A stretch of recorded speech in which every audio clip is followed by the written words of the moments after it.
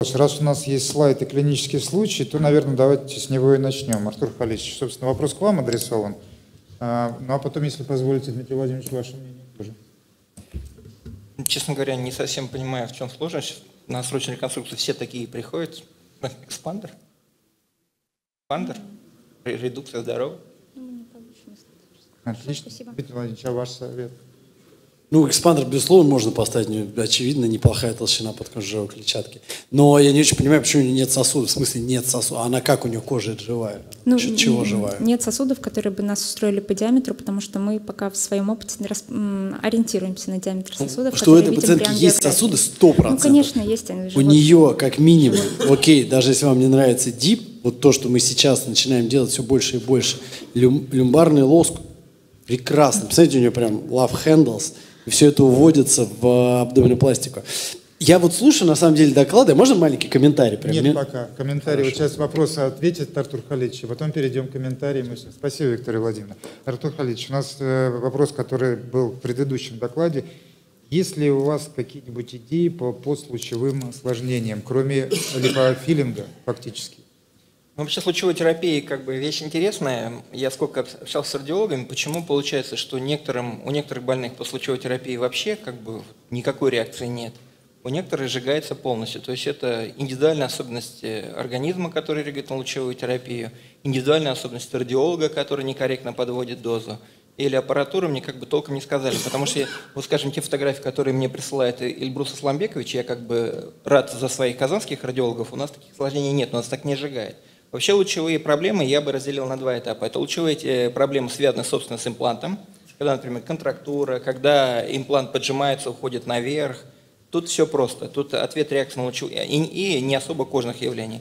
Вот там как бы немножко все просто. Вы выжидаете там 6-12 месяцев, когда заканчивается активная лучевая реакция, и меняете, скажем, на полиуретановый имплант, так сказать, спускаете складку, делаете коррекцию, плюс липофилинг. Там это вообще все хорошо коррегируется. В плане фиброзной контрактуры, рецидив контрактуры, он несколько может быть выше в популяции, но не стопроцентный, чаще всего на этом все заканчивается. А вот. Если, наоборот, был полиуретановый имплант, то там прелесть может как раз поменять, когда уже у вас более-менее грудь сформирована, на, ту же мотиву, на которой, как ни странно, э, капсула достаточно тонкая. А вот лучевые проблемы, связанные с кожей, когда там она становится дубовой, красной и так далее, там, к сожалению, кроме липофилинга большой опции я не вижу. И, к сожалению, после липофилинга становится лучше, но кожа не возвращается к, к тому состоянию, как до, до лучевому состоянию. Спасибо Поэтому большое. Как-то так. Спасибо. Коллеги, у нас есть несколько минут для того, чтобы вы задали вопросы. Будьте добры, микрофон вот там справа. Буквально два-три вопроса, а потом будем подводить итоги, наверное. Представьтесь, пожалуйста. Да, Малыгин Сергей Евгеньевич, Институт пластической хирургии и косметологии Москва. А, Скажите, пожалуйста, Артур Халитович, вы а, очень аргументированно а, показали нам преимущество имплантов перед собственными тканями реконструкции, рассказывая, как вы прекрасно, или как мы прекрасно отдыхали в Геленджике. Но если подумать, и если мы говорим про рациональную реконструкцию, давайте мы посчитаем количество реопераций, которые будут у пациентов, которым мы выполнили даже очень неплохие реконструкции с имплантами. И, к сожалению, процент реопераций у этой группы будет в значительной степени превышать э, процент реопераций у пациентов, которым были выполнены реконструкции с использованием собственных тканей. Мне кажется, это так. Могу отвечать? Да, конечно. Наверное, не я молодец, когда хвалил импланты, а Дмитрий Владимирович, который честно про лоску рассказал а, в плане преимуществ. А по количеству реопераций я не согласен с э, Дмитрием Владимировичем и в эстетической хирургии, и в реконструктивной, что любой имплант – это практически стопроцентная реоперация через какое-то время. Нет такого. Нет такого. Скажем, То есть вы хотите сказать, что женщина с этим имплантом просто умирает? Вы поставили сегодня, через 40 лет она в могилу Ну, ляжет с этим ну, же Вы имплантом. имеете в виду, онкологи, они буквально с ними умирают. Не, я понимаю, но вы сейчас говорите как пластический хирург. Вот.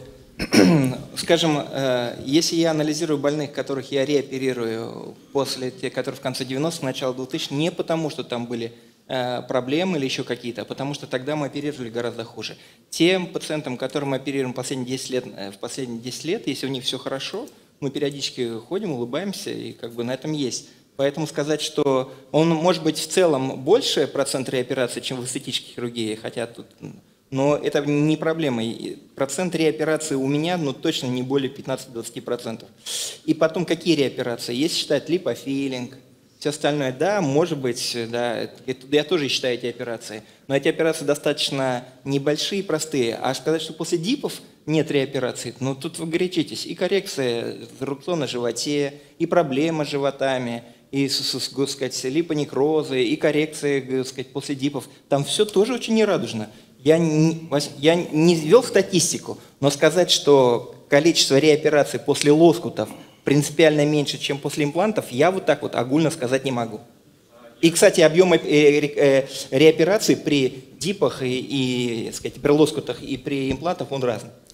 А, безусловно, разные операции, но а, я вот могу сказать, что по итогам работы а, в онкологическом научном центре, там, где мы делали и реконструкцию собственными тканями, и реконструкцию имплантами, у меня была сравнительная работа частоты реопераций по любому поводу. Эстетическая ли коррекция, либо если мы соберем реоперации и по поводу осложнений, и по поводу эстетических коррекций, то в группе имплантов этих операций будет в два раза больше. Ну, трудно сказать, мне 30 лет стажа, нельзя сказать, что вот я с чем-то столкнусь через 5 лет, чего не было. Но, во всяком случае, тогда меня успокаивает, что даже если ко мне перестанут проходить мои новые пациенты, я без работы не останусь, буду постоянно переоперировать. Так, так хочется сказать брейк между онкологами. А он тоже онколог? онко, я, я, я знаю, я прекрасно знаю, просто не узнал сразу же, много лет назад мы виделись, когда первая пластическая операция, мастер-класс как раз-таки э, показывали нам в Москве. Вот. Э, можно я задам?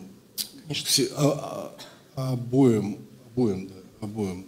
Вот скажите, пожалуйста, вот у Дмитрия Владимировича был классный слайд, он мне очень понравился, он абсолютно честный, где он пишет, нерешенные проблемы, двоеточие, эстетический аспект.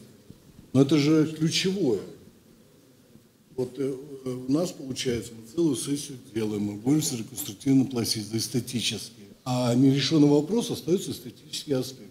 Вот мне ответьте, пожалуйста, и Дмитрий Владимирович, и э, Политович, ваше, ваше вот мнение, это вот решенный вопрос или нет? Потому что из этого вытечет другое, что вот эта вот дискуссия, что лучше ставить, импланты, дип, лоскут, травм, лоскут, ну, надо, на мой взгляд, онколог, я не занимаюсь вообще классификую, я просто вижу результаты, когда пациенты к нам приходят.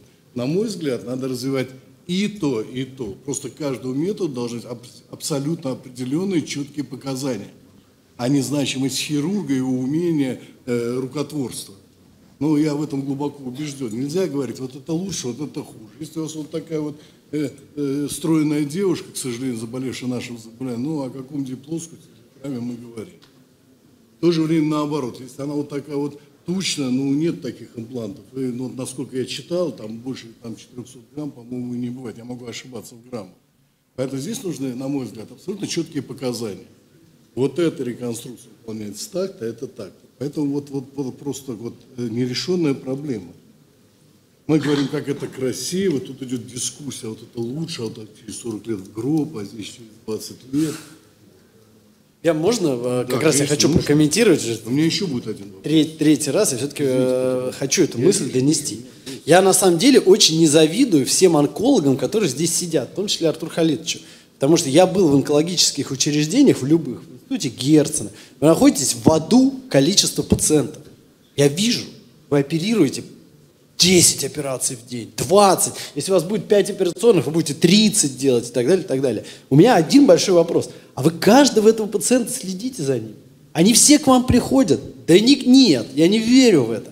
И зачастую хирурги, которые находятся в иллюзии того, что они не видят свои осложнения и методика работает, они находятся в иллюзии, потому что эти пациенты к ним просто не приходят.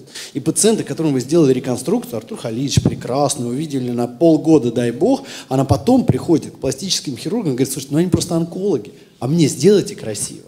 Потому что каждый конкретный пациент – это пазл, который нужно собрать и который нужно, к сожалению, собирать иногда годами для того, чтобы достигнуть вот того самого эстетического И результата. другой Это вопрос. вообще непросто. Дмитрий Владимирович, вот между вами сижу, понимаете, эти пациенты ни к вам не приходят, ни к вам не приходят, они приходят к нам и говорят, а зачем мне это делали, зачем меня уговорили? Ну уж простите, что я так Слушайте, откровенен, это понимаете? абсолютнейшая правда. Я вот еще раз, смотрите. Я поэтому задаю такой вопрос. Я говорю о том, что пациенты с имплантами приходят на реоперации. Мы оперируем огромное количество эстетических пациентов. Я эстетический Артур хирург в том числе. Они это невозможно. Нужно, нужно быть честными с самими собой в первую очередь. Мы далеки от идеала, как я не знаю Всё чего. понял. А ваша? Дмитрий Владимирович, не совсем с вами согласен. Есть как бы мужская психология, да. Мы, если мужчина оперировали, то есть если мужчине что-то не понравилось, он обидится, уйдет. Женщина, вот если ей понравится, ну, одна из десяти придет, скажет, доктор, какой вы молодец. А вот если ей не понравится, не прийти и не сказать об этом доктору, ну, это, в принципе, это во-первых. А во-вторых, э, мы в работе в онкологическом диспансере, у нас диспансеризация, они все приходят, первый год скажет 3-6, и поэтому они в любом случае в нашем кругу, и потом вы имеете, мы же живем провинциальных городах, не в мегаполисе, поэтому тут все, они все на виду. Ну, Казань не такой уж провинциальный Но, город. тем не менее, это достаточно ограниченный контингент пациентов, поэтому у нас очень хорошая обратная связь. То есть у нас достаточно много пациентов приходят, э, и плохие результаты мы видим. То есть я далек от мысли, что там все замечательно, все хорошо, проблемы есть, да, да, да, так же, как и после ДИПов. Э, Никто, ни вы, ни я не говорим, что наша операция лучше всех и не имеет проблем. И вы, и я говорим, что проблемы присутствуют. Другое дело, они не столь критичны, что мы сказали, что это все слепая вещь, и больше это делать не будем. Разрешите еще Хотя один я с ностальгией иногда вспоминаю, когда мы делали чисто мастектомию. Да, я согласен. Скажите, пожалуйста, у нас три минуты есть, я себе позволю еще один вопрос задать, молчал всю конференцию. Скажите, пожалуйста, тоже вопрос вам, докладчикам, ко мной. Вот не кажется ли вам, что в последнее время с развитием реконструктивно-пластической и эстетической хирургии показания к ним сильно преувеличены? Я что имею в виду? Есть ведь вещи, когда можно сделать очень неплохо органосохраняющую операцию. И будет эффект гораздо лучше, чем при том, при том методе. Вот ваше мнение какое? Не преувеличены ли показания к реконструктивно-пластическим операциям? Ну, допустим, есть опухоль там полтора сантиметра. Можно сделать прекрасную э, органосохраняющую операцию, оставить свои ткани. Нет же, делают кожесберегательную. И, так, и таких случаев масса. Вы не можете мне сказать, что этого нет. Вот ваше мнение, как э, Могу? онколога, у вас как э, Могу? Да, конечно. А, Я не спорю, что показания к органосохранным операциям, они преувеличены, и многие хирурги в тех ситуациях, когда я сделаю э, мастектомию, доктор Чи сделает органосохранную операцию. И будет говорить, что это правильно. А, Но я как онколог, я к рецидивам всегда относился плохо. Да, доктор Я Фи- другой, до- я- абсолютно- я- давайте я отвечу. Да, пожалуйста. доктор Фишер и доктор Веронези, конечно, снял нас ответственность за рецидивы. И типа, что рецидив это не результат плохой операции, а типа это агрессивность опухоли. Но по большому счету я считаю, что рецидив очень часто это недоработка хирурга во время операции. Поэтому к рецидивам я отношусь плохо. Поэтому при прочих равных условиях я всегда сделаю мастектомию. Да, я завышаю так сказать, по- показания к реконструкции. И вообще я считаю, количество органосохранных операций, удельный вес реконструктивно-пластической операции в отделении напрямую связан, э, вернее, процент органосохранных операций напрямую связан э, с э, выполнением реконструк- реконструкции в этом отделении. Если реконструкции делают хорошо, то органосохранной операции немного. А если органосохранная операция – это единственный способ оставить женщину с грудью, то тогда этот процент высокий. А так, еще раз повторю, при прочих равных условиях, если пациентка сама не будет мне навязывать ту или иную операцию, и когда, вот как вы сказать, есть не- опухоль 2,5 см в средней груди, я сделаю мастектомию. Но очень странная позиция, на самом деле. Вы сторонник э, биопсии сигнальных лимфоузлов и оставляете лимфоузлы, но при этом увеличиваете Потому объем ткани стажевых молочной. Не, не, Ильдар вопрос был двум экспертам. Давайте Дмитрий Владимирович Он не выслушаем. онколог. Но тем не Слушайте, менее вопрос я, был э, адресован. Артур Ильич, я более того не онколог и очень рад, потому что а, объясню. мы Я стараюсь, тоже, я да. стараюсь понять женщину и сделать так, чтобы она стала счастливее. А вы это начинаете превращать в какой-то... У нас есть гайдлайн, есть NCCN, давайте реконструкцию делать тоже по гайдлайну. Вопрос в том, что ну, мир вообще развивается. Я думаю, что через какое-то время запрос пациентов будет наставить в максимально некомфортное состояние. Потому что вообще идея медицины повышать качество жизни Не просто сказать, слушай, ну мы сделали нормально, симметрично, осложнений нет, рецидива нет, тебе еще надо. Э, Зачастую органосохраняющая операция женщине гораздо больше будет себя комфортнее чувствовать, чем э, установленный имплант или дип. Абсолютно, так надо. Слушайте, Понимаете? это вопрос я ведь, заключается- не, я ведь не противник реконструкции, мы отделение открыли, заметьте. Эльдар Скандерович, я пытаюсь донести назад. Мы мысль. за. Это надо развивать. Я задал совершенно ведь другой вопрос. Не превышены ли показания к мастектомии там, подкожной, кожесберегательной с целью там, мифического, эстетического аспекта, когда можно сделать хорошую э, органосохраняющую операцию. При этом услышал странный ответ. Я за сигнальные лимфоузлы, когда самая большая эта проблема для онкологов, это э, есть метастазы или нету. Но против оставления ткани мы уже... Я еще хочу сказать, 30 удаление лимфатических узлов это физи- это физический дефект. Артур Вот- Халич, вот Эльдар тогда будет Искандерович, мы пропагандировали регламент вначале. Это было первое, с чего мы начали.